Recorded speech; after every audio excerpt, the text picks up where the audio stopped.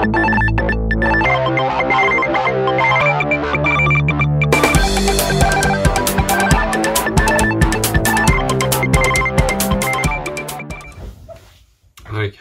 what can we do with this bit? Well, I can see pretty quickly that there's three screws here. I can see some little tiny screws on this part and another screw on here. I reckon, ooh, and some screws here. I reckon we're going to take this apart first. Yeah, let's start with that bit. I had some trouble with these screws before. I was unsure if I had the right screwdriver. Hmm. Let's try this one. Oops.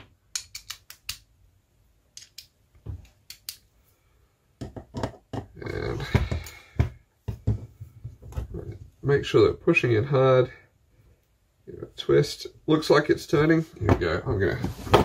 Sometimes it hard. It is hard to tell if you are turning the screw or if you're just spinning your screwdriver, tearing apart the the driving part.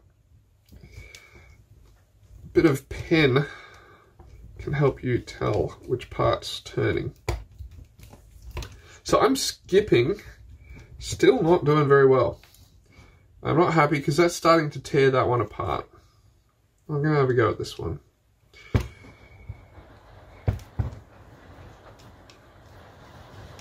go. That's coming up pretty well. And now these screws with their really big flat parts attached to them. Don't know quite it's sort of like a, an integrated washer. Um, but these are holding these bars down. And these bars are being held against some springs. So there's a, a spring in here so between this screw and this spring, and yep, they're all on springs. And can I get that high enough to come out? Looks like we're not quite there. That's not easy to turn. That's definitely not the right screw. Screwdriver. Let's see what else have I got?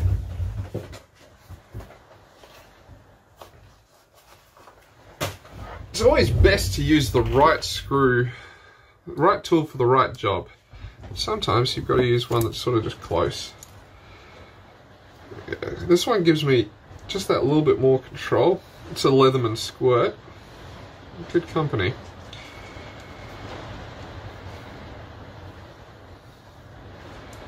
Now I wonder, I'm not 100% sure. I don't know. This might be a JIS screw. It'd be weird that there's one JIS screw among all the rest, but JIS have a slightly pointier design. I think I'm just imagining things. It's probably just another Phillips. So here's what the screw is supposed to look like. It's supposed to look pretty and straight.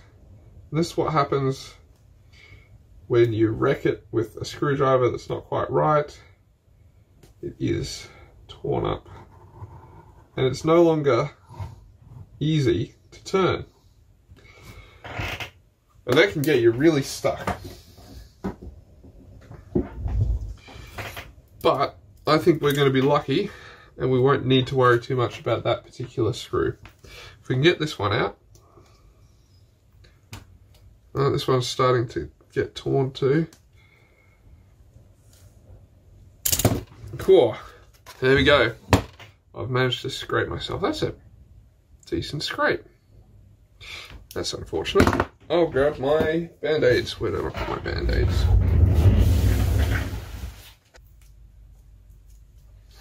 So, as I was trying to turn this screw, and I was using a screwdriver that wasn't very good for it, it wasn't quite the right size and shape, um, I slipped and because I was pushing really hard, um, I scraped a whole bunch of stuff across my hand. Would have been really nice to be wearing gloves at that point in time, but I wasn't. And now I've got cuts and scrapes. That's all right, it's not too bad. So I can pull that bar out now. There's a little spring hiding in there. Now this bar is still not quite ready to come out. That's disappointing. I'm having a lot of trouble with that one. Let's see. I'm going to try these screws, see what happens with these ones. These ones are coming much more easily.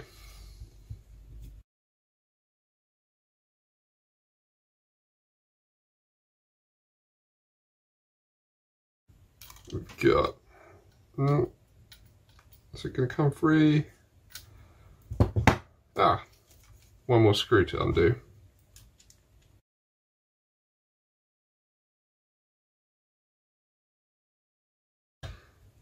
It's interesting the different kinds of screws that we've been retrieving. We've got some with big flat heads, some with smaller rounder heads, and some with very blocky cylindrical heads.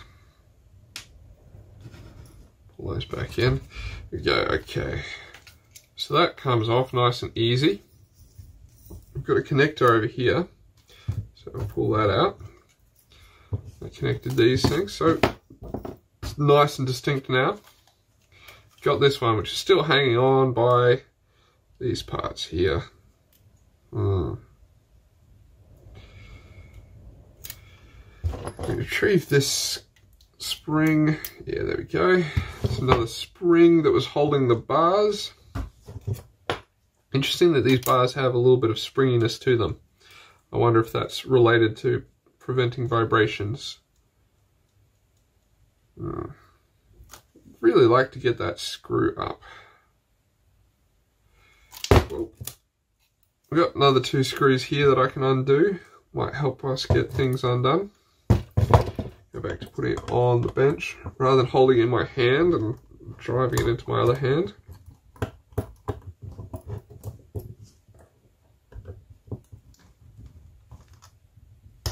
There you go. Those can go with those screws. Now, if you have a magnet handy, go, can be quite good. Lifts the screw straight out. By attaching a magnet to my screwdriver, the screwdriver becomes magnetic and it can lift the screws up. Okay, so that's coming out. Ooh, still fairly attached. What if we undo this screw here? There we go. Interestingly, my screwdriver is still magnetic even though I've taken the magnets away. It's a lingering effect of exposure to a magnetic field. So that all comes apart. Here's the linear drive. So we said that this is uh, this one will be a stepper motor. Um, when I had this motor before, I was able to apply a voltage to the two pins and it spun. This one, I can see one, two, three, four, four wires coming in here, four pins here. Little label saying lead free, which is nice. Nice to know there's no lead in this one. It's got four wires going into it. This is a stepper motor and it requires a special controller. You can't just put some voltage in and expect it to work. So I'm going to put that aside. I think it's pretty cool, this, this rod that drives things up and down. Um, this is the part that gets driven up. This is a spring that helps interface things. That over there. Now, can I get this to disengage? Hmm. I have a pair of pliers here. Those pliers might help me disengage things that don't want to come apart. I might have another go at that screw.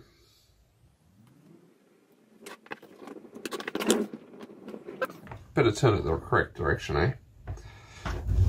Some people, when they're undoing screws, they talk about lefty-loosey, righty-tighty. I like to think about a clock. And so clock goes tick, tick, tick, tick around this way. So clock sticking around this way. When they're putting the screws in, they're putting around this way.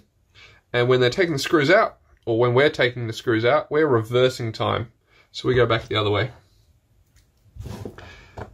Now you see, if I slip now, were a lot less likely to injure my hand than when I was holding everything up. I'm just doing a little bit at a time. It's kind of starting to calm. Maybe. I'm using a lot of force on this because I've managed to strip the strip the screw a lot. And that force is making this a bit dangerous. I'm gonna stop now. That's disappointing. I reckon it's wrong screwdriver.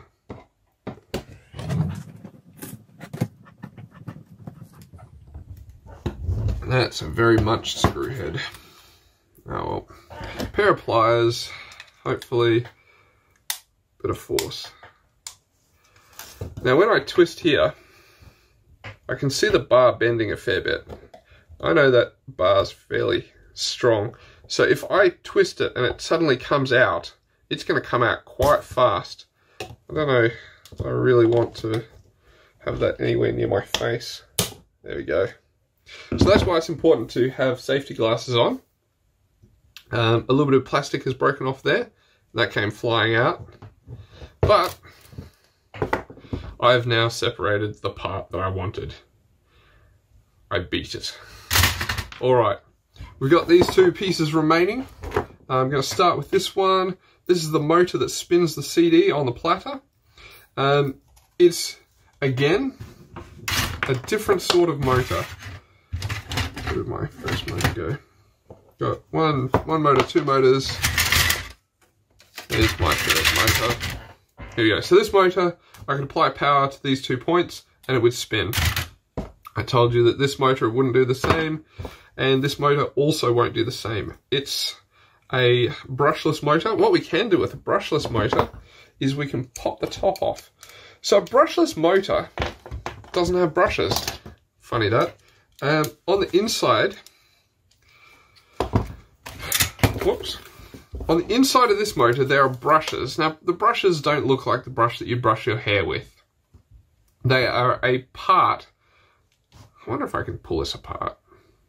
Might not work out too well. The brushes allow us to have the way that the current flows change as the part inside spins. Because there's a part inside, these wires go inside, and as it moves past, different parts touching the wire, they brush against each other. It's a bit bit different to what I'm doing with my fingers, but a standard DC motor has brushes inside of it. The brushless motor doesn't, and that's because the part that the current flows through is all on the on the fixed part, and the part that spins is just permanent magnets. And we can find that out by giving this a twist, because it's not held on very tightly. There we go. And we can see the inside of the motor. So this part is called the rotor because it rotates. This part is called the stator because it stays stationary. And if I get a bit of metal, we can see that this is a circular magnet around the outside. And I can feel it as I go. It doesn't feel consistent. I can feel the this metal thing um, pushing from magnet to magnet. It's very hard to, to show you, so you might just have to take apart a brushless motor.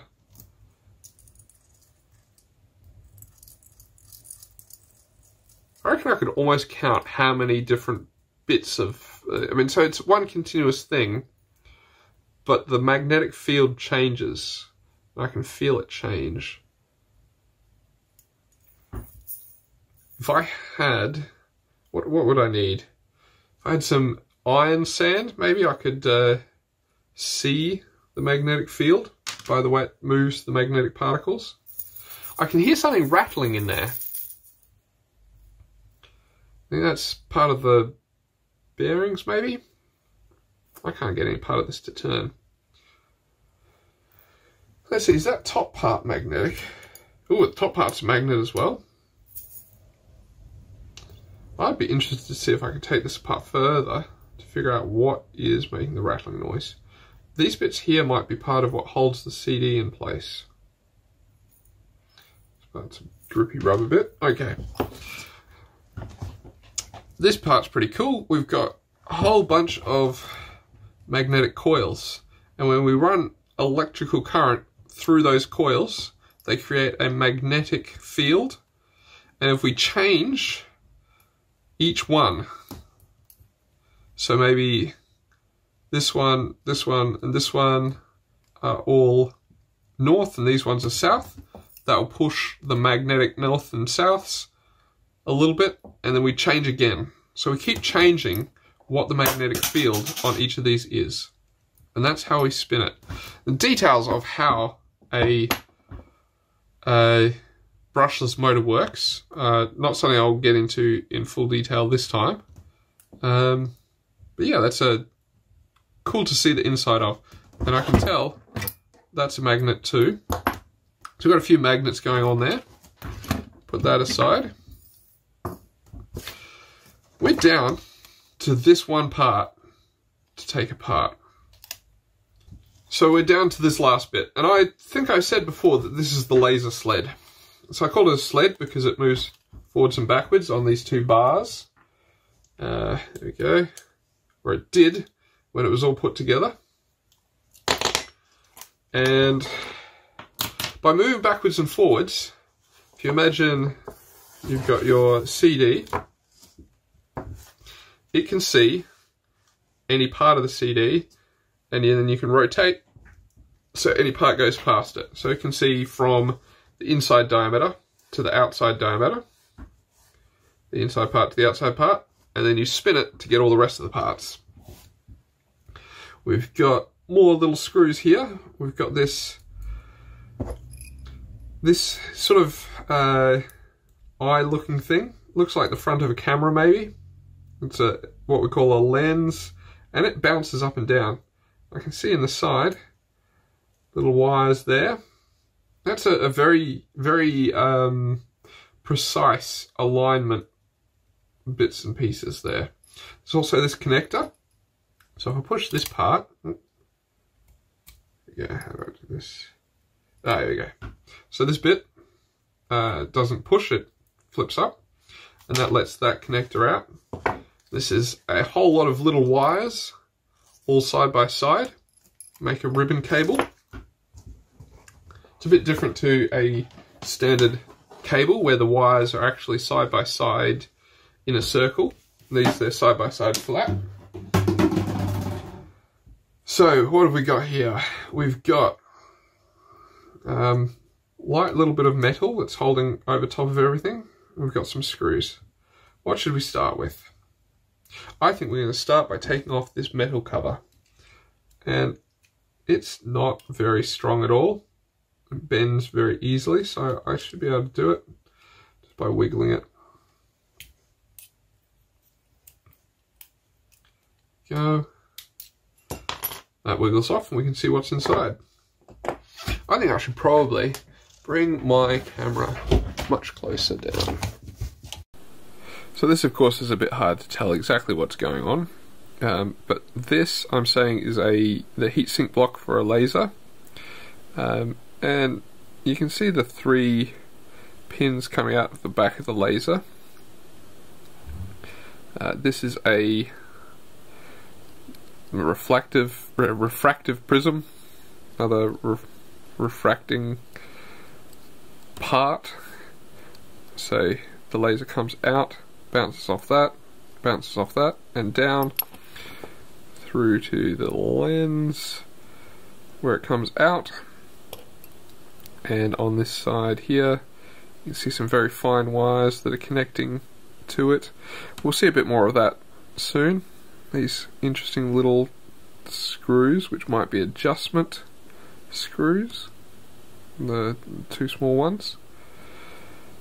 Um, and over here, let's see how if we can get enough light in there.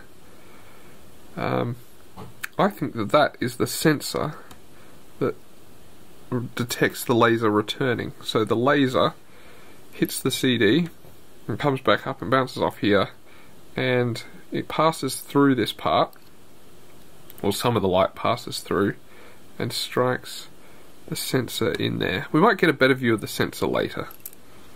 So now we're going to do a little bit more disassembly of this one remaining small bit.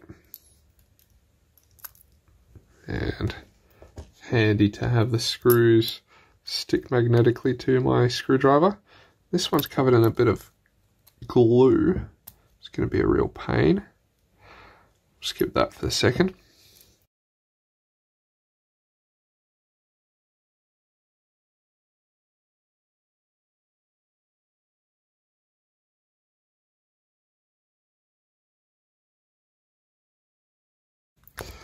We get the last screw out, or not quite the last one actually. There we go. Um, I mentioned it before, but looking up, there's a couple of Wikipedia articles. One that covers all the different kinds of heads that you can get for screws, and the different reasons that there's different heads. Um, and the other really interesting Wikipedia article is the one about the Whitworth thread and the introduction of uh, national standards of having all the threads the same. There's now a metric standard, which is probably what we're using for these. The Whitworth was a British standard back in the day, um, but it was very important in early industrialization. So we've got these two. I don't think these are attaching anything to anything. I think these are little screw heads allow you to adjust things. uh, which we do not really need to adjust. I can see there's some glue here, so I don't think this is going to come apart as easily as I would like. Um, might need a little bit more space to use some force.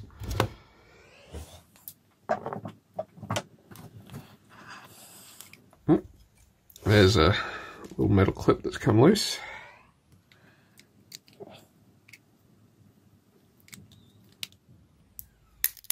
There you go. A little bit of twist in the right place. It's come up. Um, so we can see hmm, all sorts of interesting things going on here. Um, see the way that we've got a circuit board here that's connected to a circuit board at 90 degrees. I've just broken that off. And we've got the connector still. Got the connector. We've got AK8929. I wonder what AK stands for. Hmm, not sure. Got bits and pieces. Got the lens. Got the reflector. Now, which part should we do a bit more on first? I think I'll put that one aside for the moment. Um, pull this out. Now this is gotten all scratched up now that I'm using pliers to pull it out. But we can see all sorts of pretty colours and reflections. There we go. It's, I think, effectively like a, a half mirror. It allows light to bounce back from the CD to the sensor. So the laser comes through this and then the light comes back and gets redirected through this part. Oh, that's broken. You see I've just ripped it apart. It's probably glass. Got to be careful with that sort of thing. Put that straight into rubbish bin. So that's now broken in there, you can see. Where I have broken it away. It's not so good. I don't like breaking stuff like that. I, ooh, we got a little integrated circuit down here. We got laser that we wanted to get to and the sensor that we wanted to get to. So we haven't quite gotten to those things yet. Let's see a bit of twist. Let's get a screwdriver in there to twist a little, with a little bit more control. Oh, this one would be good. There we go. Get right into that gap there.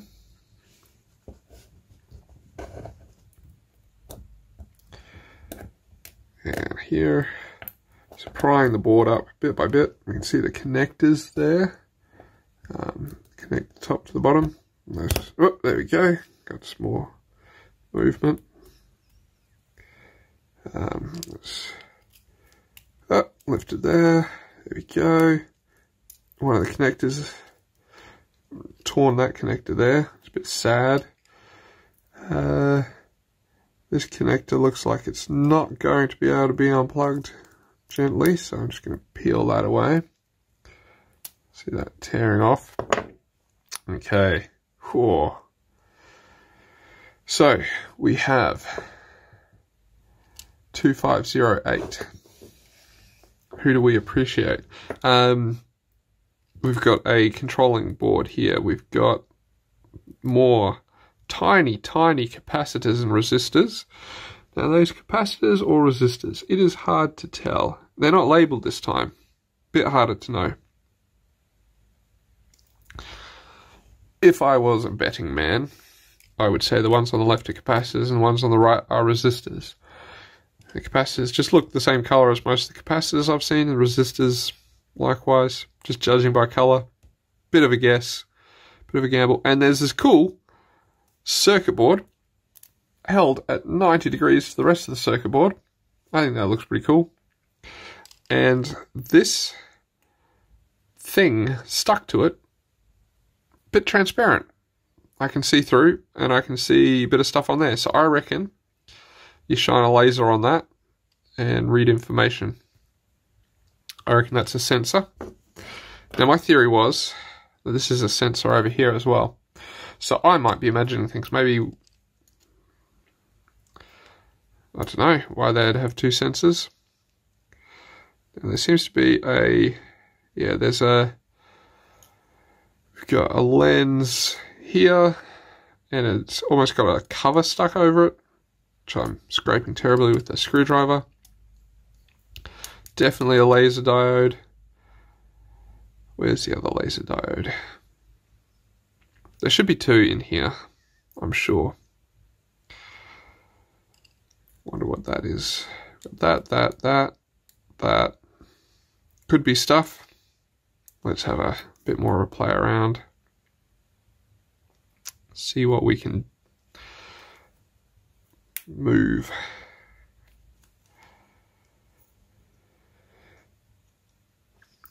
Now this is cool.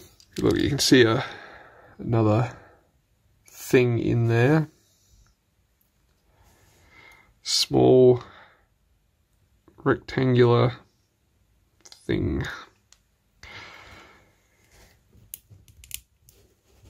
Definitely getting to the stage where I'm breaking stuff and risking sudden popping and stabbing myself. So I need to be very careful because I don't want to have to get out some more band-aids.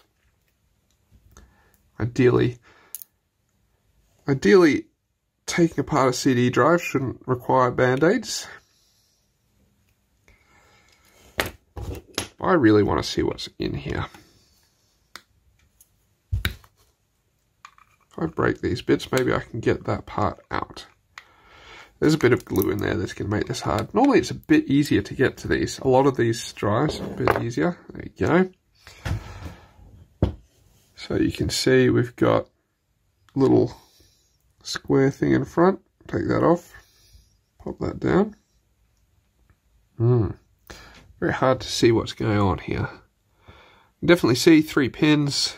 Let's take a bit more of it apart. Oh, breaking that.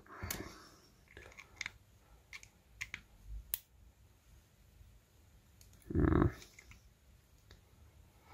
What about this metal covery bit?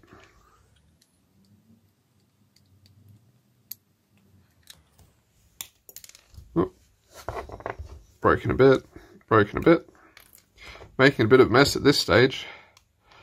Got a circular thing. I don't know how much of the laser diode we're going to get to see on this one.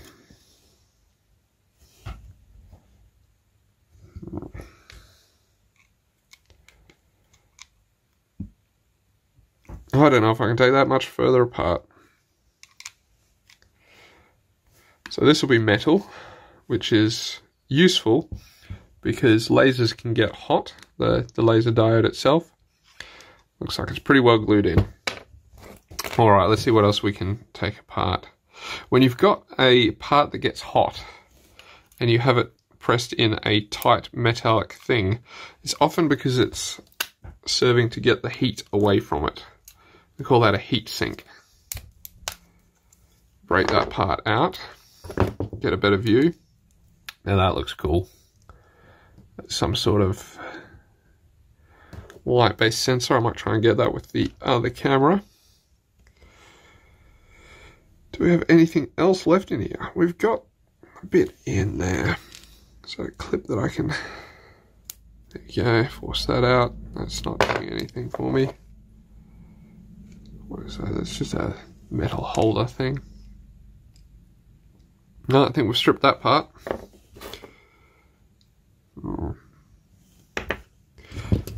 Grab the other camera. So we're just looking at the two things I think look like sensors. Um, this one can't see a lot, but the fact that I can see through that translucent part on the top makes me think that it's a sensor. Yeah. let's get that into focus. Oops. There we go. So, I reckon that's a sensor to determine basically to read the laser coming back from the CD. This is the eye. That's my theory. Man, can you see those tiny fine wires coming off the center into the outer pads? So each of those, so there's a the square in the middle, and then those figure eight sort of looking um, bits around the edge. Man, so tiny. So there's all these little bits around the edge, the eights. Need a better pointer. Let me see. So these shiny, shiny bits, and then you can see tiny little wires running from the square in the middle to the shiny bits out here. And then those shiny bits are probably connected to these bits, which connect to the cable which used to connect to the rest of the circuit board. So I think we're down to the last piece to take apart, and that's the lens assembly. Now I think this is going to require pliers again to get a bit of a bit more open. Um, bending it apart. There you go. Bend that out, and we'll bend this out. Oop. See all this bending stuff's the dangerous part. Now you can see it's no longer bouncing around like it used to, but you can start to see these very fine wires that run to the to the lens itself. Uh, these are magnets next to it. Let's see, focus. So we've got magnet and a magnet. We've got wires and starting to see, you can see the orange bit, that's a coil. So that coil, when the circuit needs to, it runs an electric current through the coil. When you run an electric current through a coil, you create a magnet. And when a magnet is next to another magnet, depending on how the two magnets are configured, they will either attract each other or they will repel each other. Oops. And so, using this principle, you can make very small, very rapid changes to the position of the lens. And the lens is sort of like the nozzle of a hose. It's the last little part and it's the bit that points the laser at points the laser at the CD. So we've got two little magnets here. I should be able to pull those off without too much trouble, maybe, if I'm lucky. We can use those next time we want to make our screwdriver stick to screws. If I don't just stick the screwdriver to the magnet. This is a very good way to stab yourself with a screwdriver. Um, so I'm going to give up on that particular task. Now you might be able to see, if we can get it to focus, uh, these are the, the coils. Um, might take a bit of video with the other camera of this little assembly.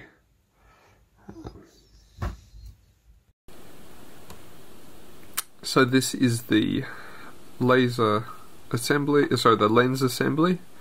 And you can see the two coils, or there's actually three coils going on here, I, I think. Um, that looks like a coil in the middle going around. And then there's this coil, which wraps around this way. This coil over here. And coils on the other side as well. You See, that's just very fine copper wire. And it's probably enameled uh, to keep it from touching uh, the other parts of the coil.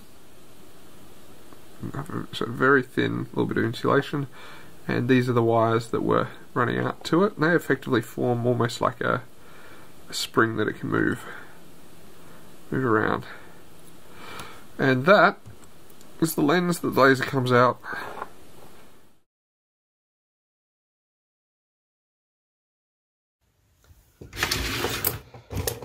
Well, I've made a bit more of a mess than I expected, um, but I have taken it apart. I've found all the little bits and pieces.